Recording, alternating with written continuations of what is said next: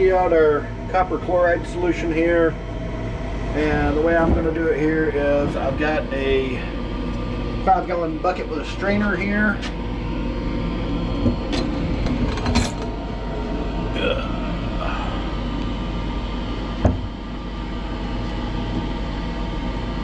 Pull my air stone out.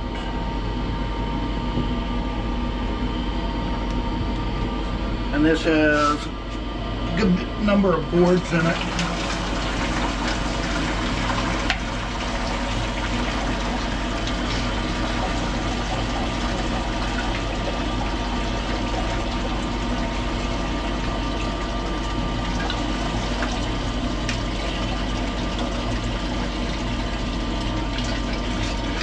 And hopefully, you can see at the bottom there, lots of gold foil.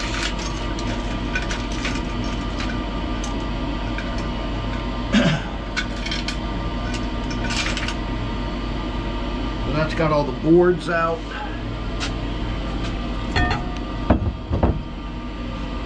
And I'll go over all this with water, knock any other foils off into the solution, but I'll do all that off camera.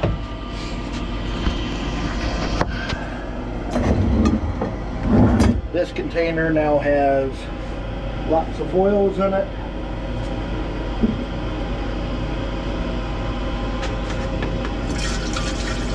This is just distilled water.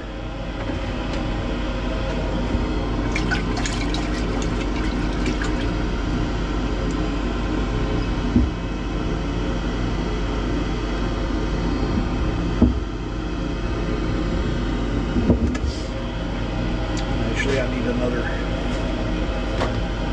I need filter.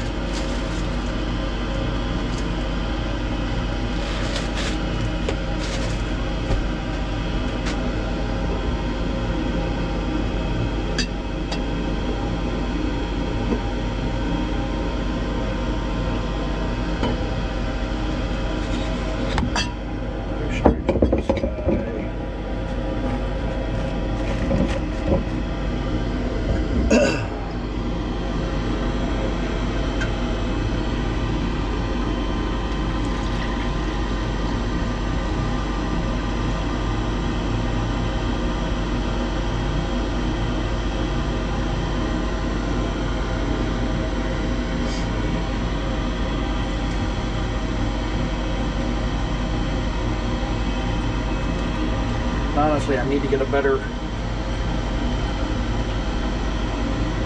a better uh, container for this because it's gonna be a little difficult to get all the foils out.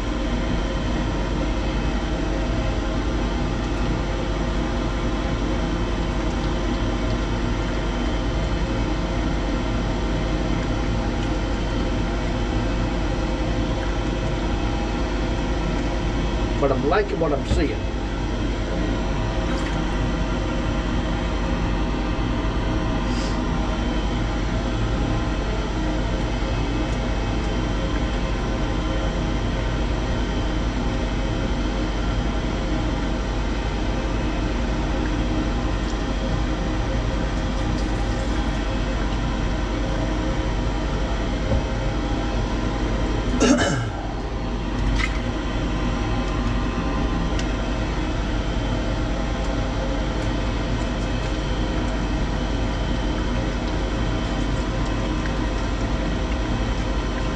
There's one, there's two right here.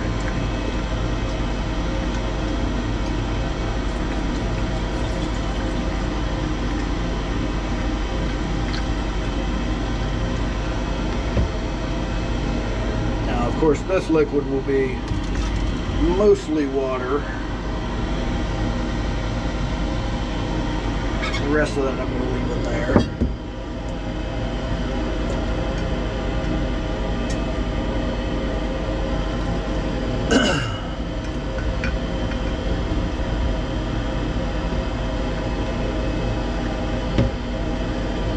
That's all I'm leaving in the bottle, just a tiny little bit. Most of that looks like it's other components, just a couple little flakes of gold.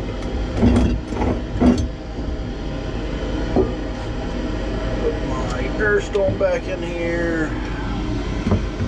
Go back there again. So this is going to drain out and I'm going to clean the uh, boards, get all, everything into the solution over here. Uh, then I'll filter that solution into the strainer here. I may have to replace the strainer. Um, but we'll get all the, the gold foils that we can out of it. Uh, and I'm gonna not sure where I'm how I'm gonna tackle this yet.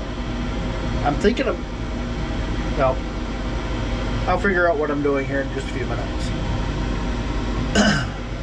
so we'll see how far along I get here. So I'll come back after I've done washing everything.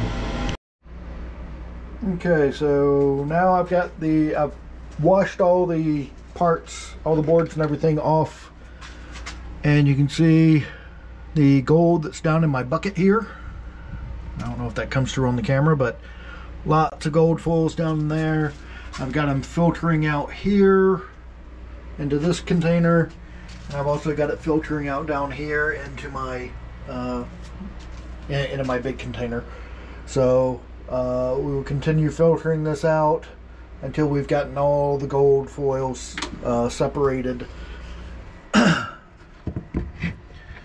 we will continue on from there. But yeah, I mean, everything's running smoothly. Uh, just took a bit of time, a little tedious work to uh, get all of the uh, to get all the foils washed off the parts. Probably made a little bit more work for myself than I needed to. But, you know, all in all, I've got a, you know, there's a good number of foils between these filters and what's left in the bucket here. Uh, so I'm, I'm happy at the moment. I'll come back later. I'm going to try something stupid. So I've got all of the filters and everything from the gold recovery in a one kilogram crucible and I put it in my little uh, furnace here. I'm going to heat it up to 100 degrees Celsius and let it cook off all the water. We'll let it do that for, I don't know, maybe a half hour or so once it's up to temperature. Um, then I'm going to take it up to 400, let it stabilize, and then I'll take it all the way up, uh, probably to a thousand, and then all the way up as high as it'll, uh, well, 400, probably all the way up to the, the, top, which I think is a little over, it's like 1100 uh, Celsius for this thing. If I'm right, the uh, and I'll add some borax at, uh, at some point. But if I'm right, any gold that's in there, uh, anything that's not gold should carbonize and float on top of the liquid gold. I'll add the borax uh, and hopefully we'll get a gold button out of this. We'll see it's just an experiment, me goofing around, seeing what I can do. There was not a lot of gold in here.